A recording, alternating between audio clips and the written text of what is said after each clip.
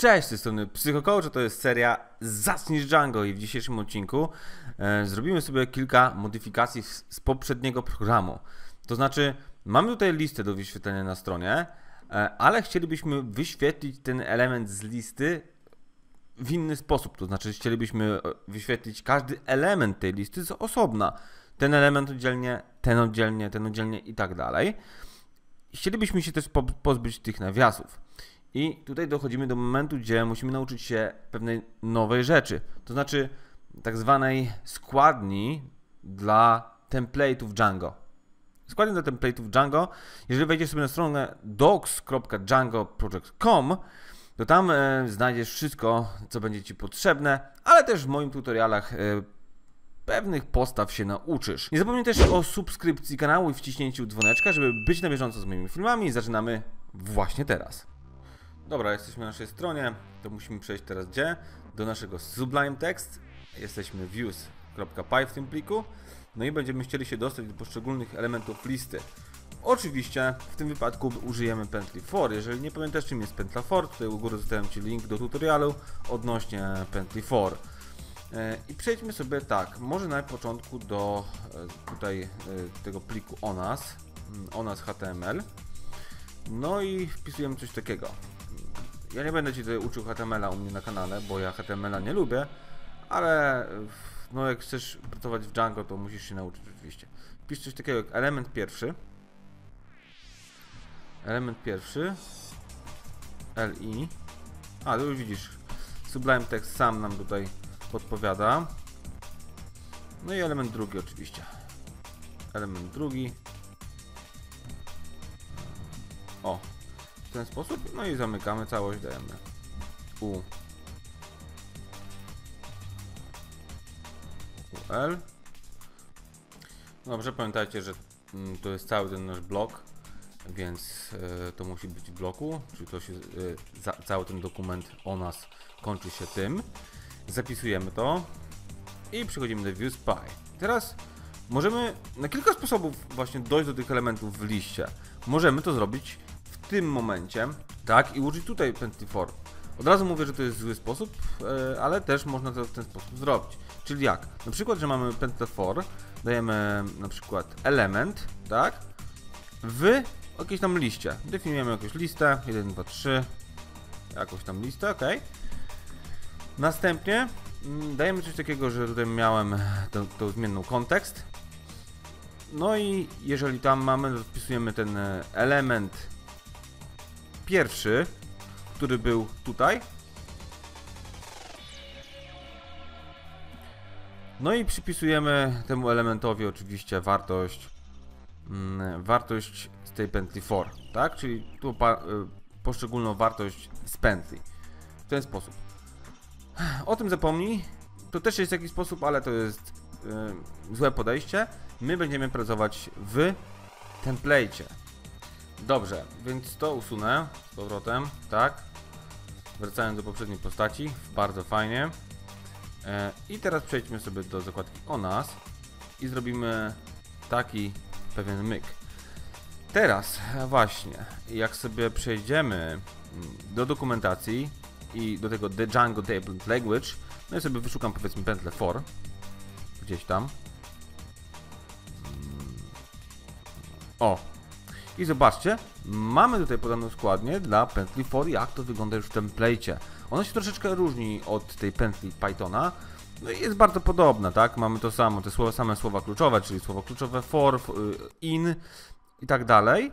Zobaczcie, oczywiście one są w tym, e, tych e, określonych nawiasach, mamy też procent, ale różnica jest taka, że musimy to zamknąć. Zamknąć y, to tym słowem kluczowym n4, czyli w HTML musimy to potwierdzić, że pętla została zakończona, zamknięta. W wielu językach tak jest, tutaj też takie coś wygląda. Może sobie tutaj o tym poczytać. Szkoda, że nie ma dużo polskich opracowań na ten temat, e, dlatego robię ten tutorial. Dobra, i teraz tak, e, wracamy do mojego pliku ONAS HTML.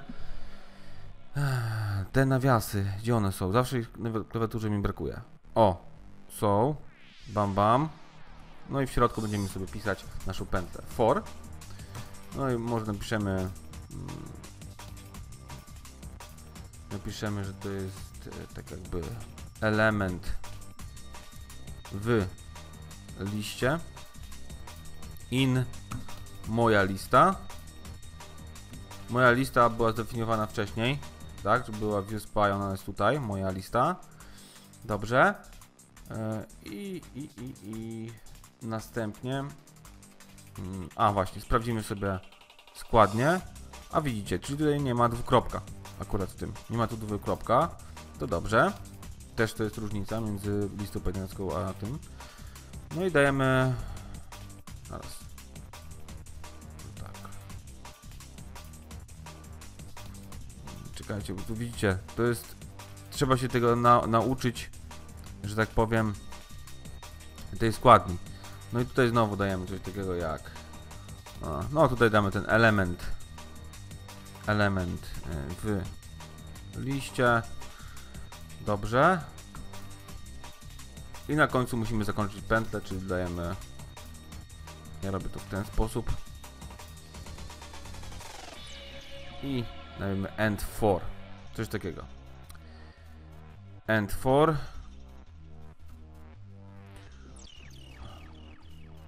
Widzicie, dawno już pisałem cokolwiek. Przerwa była i, i tak mi to powoli idzie, idzie, ale spokojnie, rozkręcę się. Dopiero 2019 zaczyna się, jak tam u Ciebie? Zostaw w komentarzach komentarz, jak, jak tam Ci idzie programowanie w tym roku. Kolego. Zbliża się rewolucja, Ty nic, jeszcze nic nie umiesz. Dobra, i tutaj dajemy to UL, tutaj dajemy LI. Kończymy też LI tutaj. Dobra, ładnie się zakończyło. No i wszystko tutaj też e, zakończamy tym UL-em. Dobrze, to praktycznie to jest to wszystko.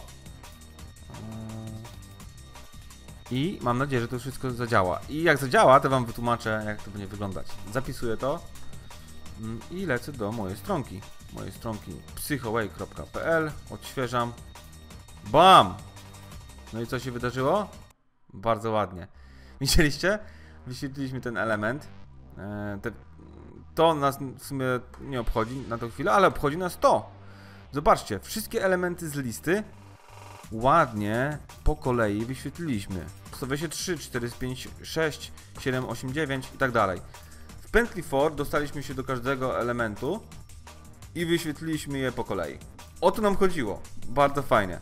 E, wyświetlili, wyświetliliśmy też to, co jest nam w sumie niepotrzebne, ale niech na razie zostanie. No i wcześniej wyświetliliśmy te wszystkie dane surowe, już nieobrobione. Więc w template użyliśmy pętli for, która ma troszeczkę inną składnię niż składnia Pythonowska, żeby dostać się do poszczególnych elementów w mojej liście, w tej liście, tutaj, w tej, tak? Czyli przekazaliśmy ten kontekst do tego HTML-a tutaj i dostaliśmy się do poszczególnego elementu w liście, następnie wyrzuciliśmy to na, e, na naszą stronkę i sprawdziliśmy jak to e, pięknie działa. Pokażę Wam jeszcze jedną niesamowitą rzecz. To znaczy będziemy tak jakby e, wyświetlać stan licznika pętli, tak? Czyli ten iteration number z angielskiego. Bo tak, bo jak pętla się przepętla, to za każdym razem ma większy numer, tak? 1, 2, 3, 4, 5. I akurat w tym wypadku będzie miała tyle numerów, ile jest elementów w liście, tak? W ten sposób. Czyli e, to jest tak jakby licznik e, tego numeru, numeru iteracyjnego pętli. No i damy coś tak for loop, counter. No i skąd ja to wziąłem? Tego nie wziąłem z nieba. To jest po prostu napisane w dokumentacji Django, więc nie myśl, że ja jestem jakimś geniuszem, bo nie. Tylko po prostu jest dokumentacji Django wyciągnięte, możesz sobie spokojnie na stronie to znaleźć. No i tutaj będzie zawierany ten element pętli. Dam jeszcze sobie myślnik, powiedzmy, albo dwa myślniki. I zapiszę sobie to. Lecimy do mojej stronki i sprawdzimy, co się wydarzy. Odświeżam stronę. Bam! Pięknie. Czyli tutaj wyświetliłem e, wszystkie numery iteracyjne, iteracyjne pętli. Pętla for iteruje się z każdym elementem listy i wyświetlany jest poszczególny numer, ten licznik, licznik pętli. 1, 2, 3, 4. Teraz powiedzmy jeszcze sobie przejdźmy do mm, ViewSpy. zmodyfikuję tu moją listę. Na przykład tutaj sobie coś tam dodam. Tutaj coś, coś dodam. Idę, może jeszcze tego stringa dodam, co? Czyli ABC, albo nie wiem. Napiszę sobie Kononowicz. Nie wiem czemu mi wpadł do głowy. Ostatnio oglądam Kononowicza. E, ok. I bam, wszystko ładnie tutaj mi się wyświetliło. Poszczególne elementy, numery iteracyjne pętli oraz wszystkie elementy w liście. To by było na tyle. Mam nadzieję, że zrozumiałeś o co chodzi. Jeżeli nie, to zostaw komentarz i do zobaczenia w kolejnym odcinku.